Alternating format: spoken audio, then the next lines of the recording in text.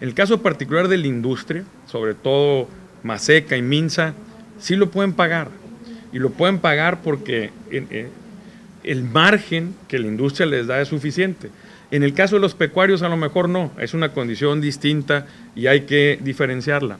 Lo triste es que ni siquiera eso se está viendo, se está analizando y lo que vemos también es que al parecer el gobierno federal no tiene la disposición de meterle un solo peso a la agricultura del norte del país.